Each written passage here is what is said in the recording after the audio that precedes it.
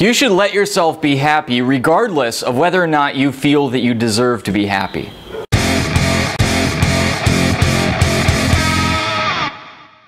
I was just having this conversation with somebody close to me who says that whenever she has the opportunity for something good in her life, she tends to sabotage herself. And she's noticed this pattern because she feels that she's not worthy. She feels that she's bad because, you know, people told her nasty things in the past and she's come to believe it. She's come to believe these bad things about herself. And so I told her that maybe she should let herself be happy regardless of whether or not she feels that she deserves to be happy. And she thought that was really helpful. So she actually recommended that I, I share that with other people. So that's what I'm doing in this video. And I think this is actually a very common tendency that when you have the opportunity for a good job or to start a business or to start a great relationship, then you do things to mess it up for yourself. And you know that you're doing things that are going to harm the relationship or harm the job or harm whatever opportunity you have for happiness or success in the future, but you continue to do them anyway. You know, it's kind of funny how we think that we have control over our mind because we think that we are our mind, that our mind is us, but then oftentimes our mind completely runs away without us, right? We, we completely lose control over it. So it may be that some part of you wants to be happy, and at the same time, another part of you wants to punish you for doing some bad thing in the past, which may be real or may be imagined. Or it could even just be a generalized sense of guilt that's not attached to any particular action, just this idea that you're a nasty person and you deserve to be punished just for your being a nasty person. And you may not be fully conscious of this, right? So if you have not had the success in your life that you've wanted to have, and you can identify that it's because of a certain set of actions or uh, lack of actions on your own part, you recognize that you haven't been doing what you need to do to be successful or to be happy or to have the relationships you want or whatever, then you might consider that this might be the reason that you have some sort of internalized guilt that won't let you do what you need to do to live the life that you want to live. I think Protestant theology offers a really good answer for that. And for you guys, I can hear you groaning all the way over the internet. You're like, oh, here he goes talking about religion again. Well, your practical results in life and your religion uh, are inseparable, right? They are tied to one another and you cannot possibly separate them.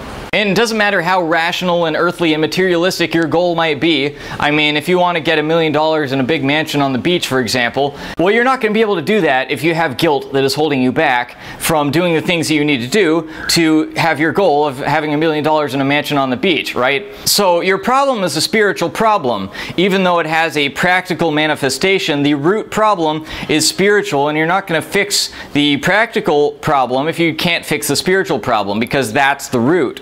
And of course, a spiritual problem requires a spiritual solution. So really, it's like that parable about the man who built his house on the rock versus the man who built his house on the sand. And if you're unfamiliar, um, you know, the, the guy whose house on the rock, the, the winds and the waves and the storm came, and his house stood steady, and the man who built his house on the stand, his house was washed away. So if you're trying to develop yourself, or you're trying to develop the results in your life, or you're trying to do something big, and you have no spiritual foundation, well, that's like building your house on the sand. If you're trying to build a dream of making money or making an impact or getting famous or whatever your, your goal, your worldly goal might be on a spiritual foundation of sand, well, one, you're probably never going to succeed in building it in the first place, and two, even if you do succeed, eventually the wind and the rain and the hard time are going to come and they're going to wipe out everything that you built for yourself. So I've said it before and I'll say it again, don't ignore this part, it is of utmost importance.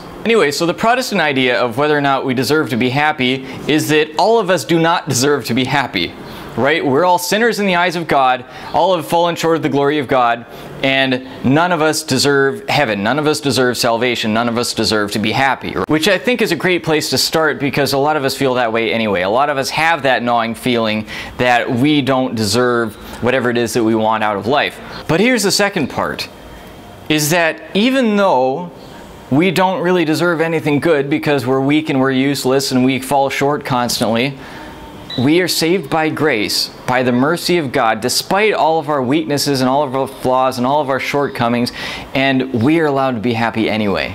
And what we need to do to be happy, or to go to heaven, which is really just a way of saying how to be happy after this life is over, but it's the same concept. What we need to do to be happy is to confess our sins and to repent. That is, to recognize that we did something wrong and then commit to stop acting that way. I think even just from a practical perspective, I'm not even saying whether or not this is true or not. I'm saying just pure usefulness.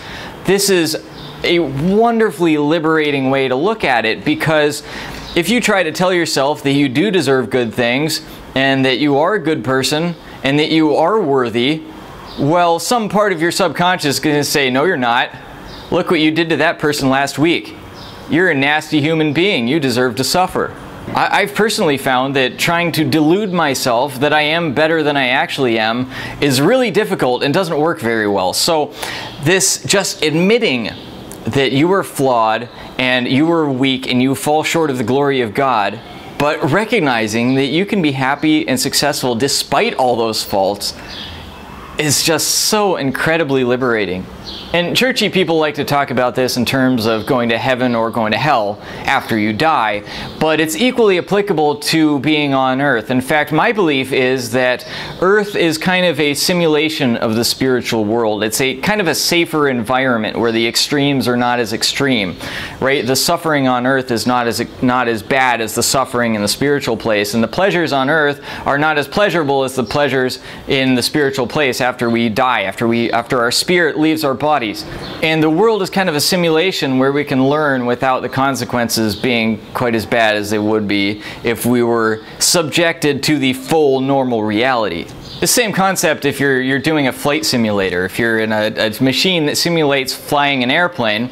Well, if you crash the airplane and the machine, then, then probably you feel bad, but you'd feel a whole lot worse if you crashed a real airplane. So in the same way, we have this physical life in order to learn how reality works, but in a safer environment. Because we're not really at the point where we can handle the full reality, just like somebody who's training to be a pilot is not yet at the point where you trust them behind the, the controls of a real airplane.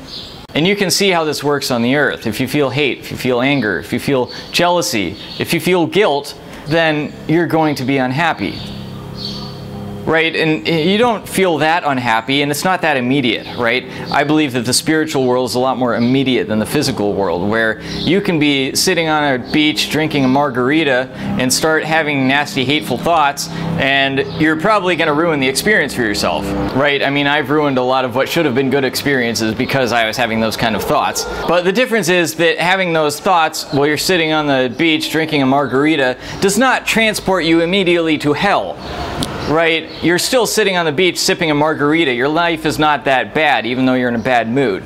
So in that way, the, the consequences of your intentions, of your attitudes are attenuated, shall we say. I mean, your thoughts create your things. Your attitude creates your reality on earth, but it's a little slower and it's a little less absolute. But anyway, you can be forgiven at any time you want. All you have to do is confess your sins and repent, right? Recognize that you're doing something wrong and then commit to stop doing it. And it doesn't work the way that earthly justice works, where if you kill somebody, then you go to prison for 50 years, right? You get a specific sentence.